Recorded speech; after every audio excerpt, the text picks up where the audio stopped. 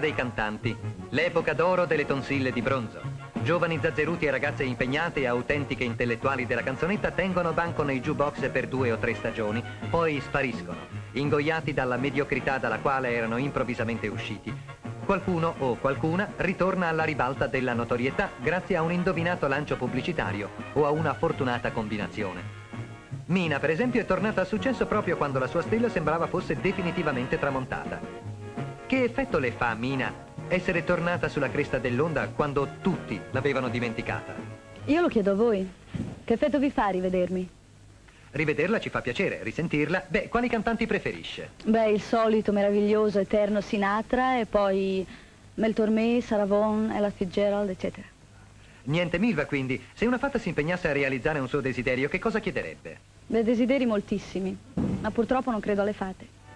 Se ci credesse vorrebbe che Sinatra affermasse che la sua cantante preferita è la solita, meravigliosa, eterna Mina.